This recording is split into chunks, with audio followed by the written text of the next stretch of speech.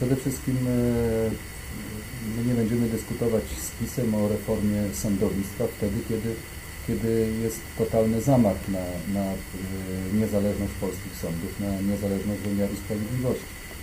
I nie tylko e, KRS, nie tylko Sąd Najwyższy, ale wiemy dzisiaj, że wszystkie sąd, we wszystkich sądach okręgowych minister Ziobro powymieniał prezesów i, i swoich, że tak powiem, swoich namiestników tutaj po, poumieszczał.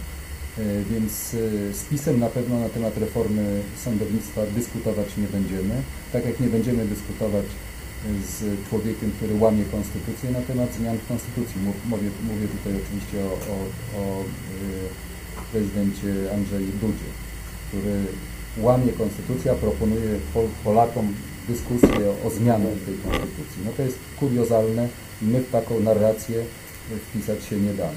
Natomiast oczywiście, że e, przedstawimy przed kampanią wyborczą roku 2019 kompleksową propozycję e,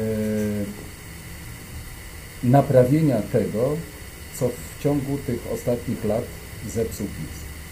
Powrotu do demokracji, powrotu do niezależnych sądów, niezależnych prokuratur, e, niezależnych mediów. E, tak jest, do, do wzmocnienia samorządu, do, do e, przygotowania niezależnych wyborów i tak dalej, i tak dalej.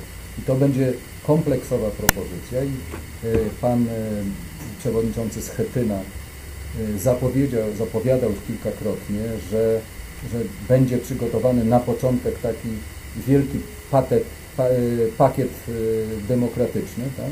czyli e, odkręcenia pewnych złych decyzji, które, które podjął PiS, które zepsuły polski, polską demokrację i polski, polski system, polsko, polski ustrój.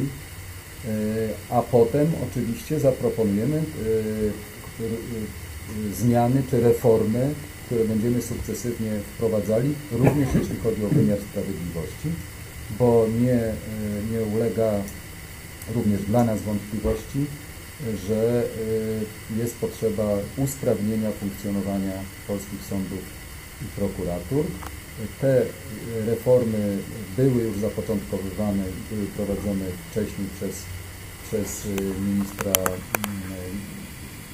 ministra Grabarczyka, ministra E, Budkę. E, no niestety wybory w 2015 przerwały te prace nad, nad usystematyzowaniem e, tej, tej reformy, ale my do, tego, do tych tematów wrócimy. Natomiast na pewno sądy i prokuratury muszą być niezależne, bowiem trójpodział władzy na władzę ustawodawczą, wykonawczą i sądowniczą musi w Polsce funkcjonować. Co do tego nie ma nic wątpliwości. Także spokojnie.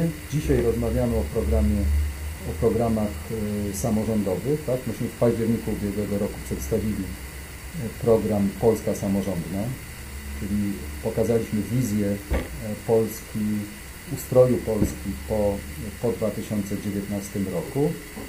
Są przygotowane i niebawem będą prezentowane, jak tylko będzie ogłoszony jak tylko będą ogłoszone wybory, e, to będą prezentowane programy regionalne.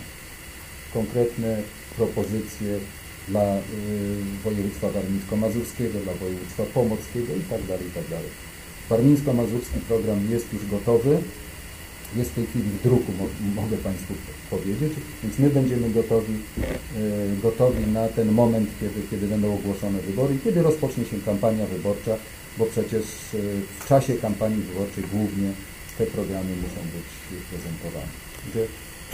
Poczekajmy, e, wszystko w swoim czasie.